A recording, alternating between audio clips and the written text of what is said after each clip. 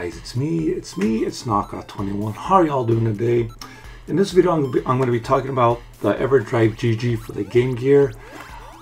Ever since I upgraded my Game Gear, giving it new caps, a new screen, new power board, new audio board, it's basically like a whole new Game Gear. And ever since I did that, I've been having a blast playing all my classic games again.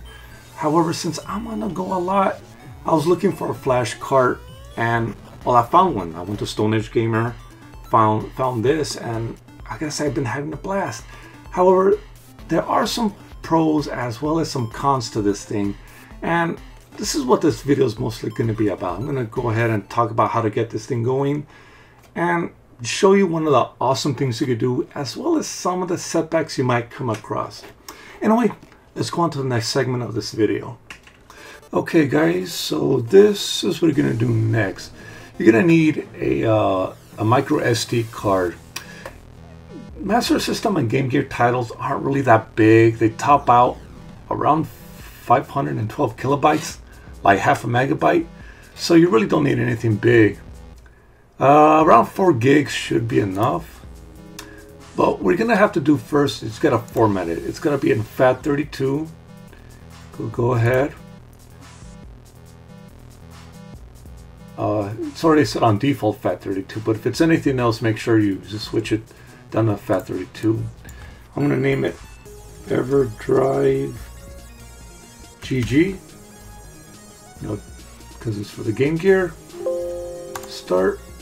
Yes, yes. There's nothing on there, but it's, it's always a good idea to format uh, memory cards or SD micro SD cards uh, once you get them just to uh, avoid any glitches or anything like that. And there you go. And it's good to go. We're going to open this up and we're going to put this uh, operating system. You can actually find this uh, this folder in Krikzz's website. I leave a, I'll leave a link down below. But this is a new operating system, the latest edition. You're just going to go ahead and drag it into the root of the micro SD card. And then you could go ahead and load up some games. Uh, I'll probably do that off screen, but we'll just go ahead and separate them. We'll go ahead and put one for Game Gear. Ah. Game Gear.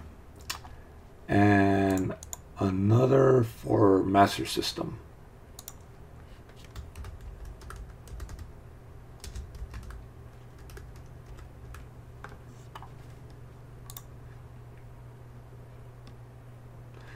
Okay, now let's go on to the next screen.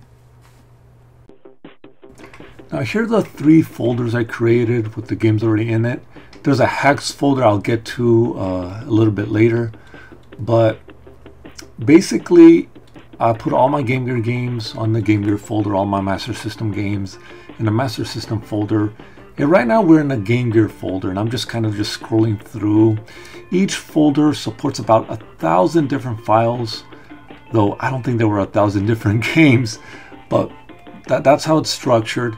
And you could do all sorts of awesome things uh, while you're in this uh, menu. You could check out the, the ROM file, see how big it is, which mappers it used, and what system it supports. Here we got Surf Ninjas. Gonna go ahead and check out check out the ROM info. And you see right there, 512 kilobytes, which is the typical size for a lot of Game Gear games. They're sometimes a little smaller, but so far what I've seen is that Game Gear games are typically about half a megabyte.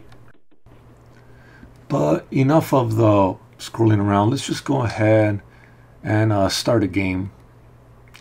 And let's go up to Ristar. Select Start. And right away the game loads. And, well, there's nothing much to it than that.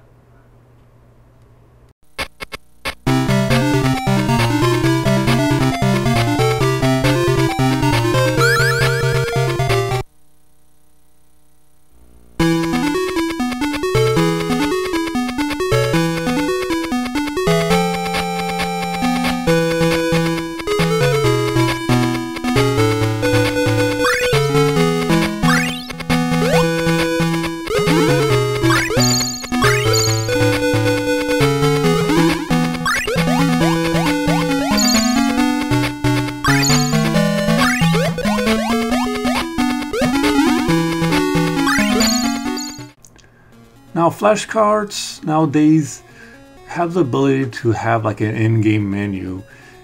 You could do this simply by pushing up and 1 and 2 at the same time simultaneously and up comes the menu. After that you could either select to save a state or play a different game. However, if you're saving a state, you're only given one slot. So if you plan to make multiple save states, you know, to play different parts of a game, that's not going to be an option. But regardless, it, it is a pretty good feature to have nonetheless. Now this is a hacks folder that I created uh, back in the beginning. And well, this is where I keep all of my hack games, homebrews, things of that nature. And remember the one game back in the previous video that I mentioned that needed a controller too? Well, with the benefit of a flash cart, you can now play patched games. This is Cyborg Hunter, uh, in case you didn't know. And originally, this game needed a player 2 to uh, to work, to, to access the item menu. But in this version, in this particular version that's been patched, you can easily access that same menu by pushing pause. This is all coming from my Game Gear. That's right, my Game Gear. Nothing, there is, there is, this is not my Master System with the Player 2 or Genesis with the Player 2 connected. No, this is my Game Gear and as soon as I push pause, the menu comes up and I can select whatever weapon I need. Now besides hacked or patched games, you could actually play homebrew. That's the neat thing about any flash cart. But when I saw this version of Tetris, I just had to try it. It was created by a guy named Armix and I gotta say, this is a pretty good faithful port of the Game Boy original. I actually went ahead and showed this to my wife and she couldn't stop putting putting it down. Tetris was her favorite game on the Game Boy and when she got to play this on Game Gear she was kind of like amazed and flabbergasted and didn't want to give me back my Game Gear for a while. But yeah, it's a neat little thing. Now, I gotta get back get to some of the bad stuff about the the uh, this uh, EverDrive, and this is one issue, and it's it's kind of minor, but it is an issue I have to talk about, and it's what certain Master System games uh, do. As you can see here, I access the in-game menu, and then the game glitches out on me. It typically happens to Master System games, not all of them, but it does happen to some, and no amount of pushing buttons or whatever could help could help you out. The best thing you could do in this case is to uh, turn off the Game Gear and start it again, and everything will go back to normal after that.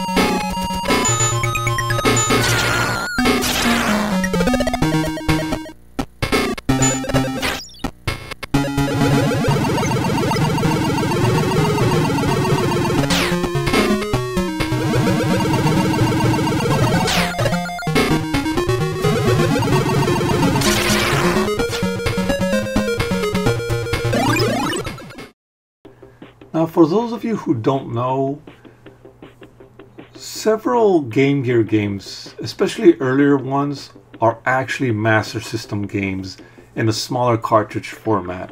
My guess is, this, is that this was a cost-cutting measure that Sega implemented back in the day. And because of this, several cart readers will end up saving these games as a GG format, which as you can see, causes a bit of an issue in terms of color and screen size, but not to worry. There is a simple solution to this. Now, this part is very simple. This is the very easy solution to get your games looking good on the Game Gear. These are the two games I demonstrated. Castle of Illusion and Prince of Persia. And this is all you gotta do. Is rename, change the file extension from GG to SMS.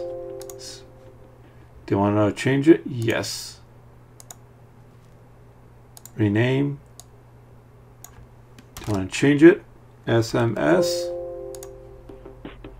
Yes. And it's as simple as that. And let's go see how it looks back on a Game Gear. And just like that, the problem is fixed.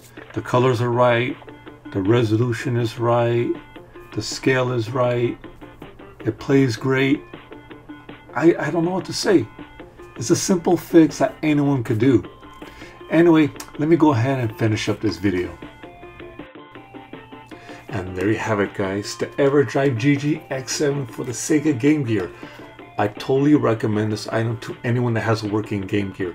It supports GG games, Master System games, SG-1000 games, hack games, modded games, you know, Japanese games. It, it, it, it works on all of those. And it's just having your entire library on the go for just $149.99, which isn't too bad. It is a little bit pricey, I would admit, but for what it does, I say it's definitely worth it. Anyway, this was Nokout21. Please comment, rate, and subscribe, and like always, have a good one. Take care, guys.